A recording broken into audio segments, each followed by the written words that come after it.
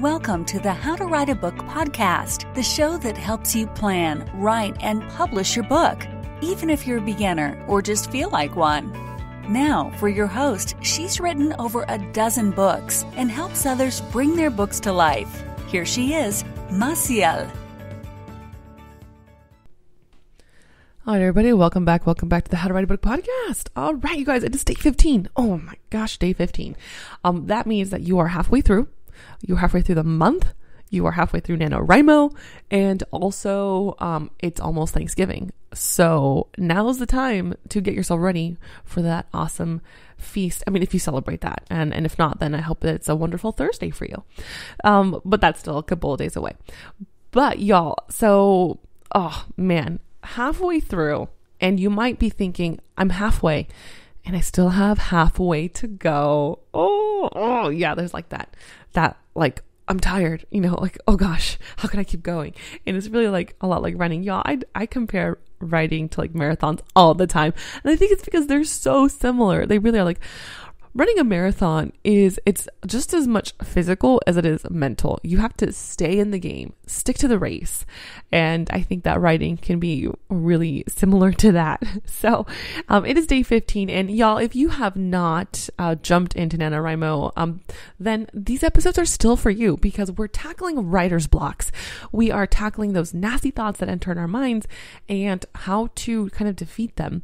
So today's thought is I'm halfway through and I realize that I still have halfway to go. Wow. Yes.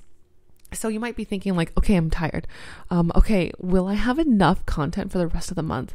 Like, okay, I see all that I've done, but I don't know if I can keep doing this. I don't know if it's going in the right direction. I don't know if I'm actually just, is this like a bunch of like junk?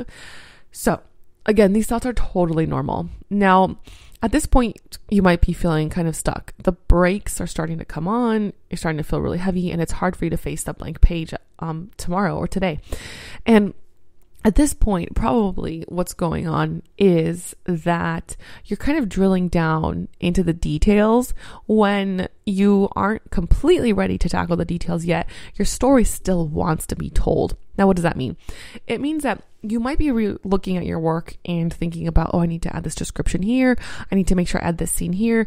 Um, oh, this, I need to clean up this grammar and this dialogue is just clunky. It's not working. Um, and all of that, those are great tools and things to look for within your manuscripts.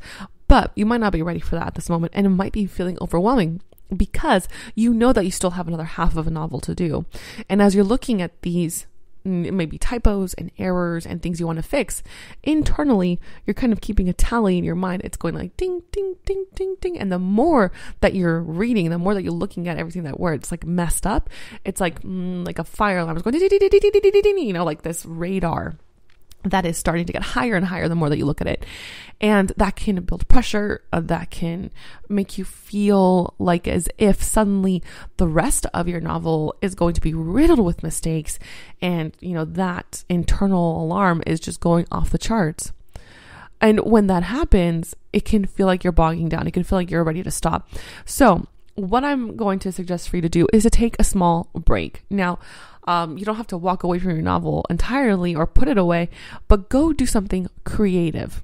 And that can be a couple of things. You might need to have your brain relax a little bit, which might be maybe some um, Netflix episodes, maybe a couple of funny YouTube videos, um, or maybe you really need to go for a walk or do some drawing and painting.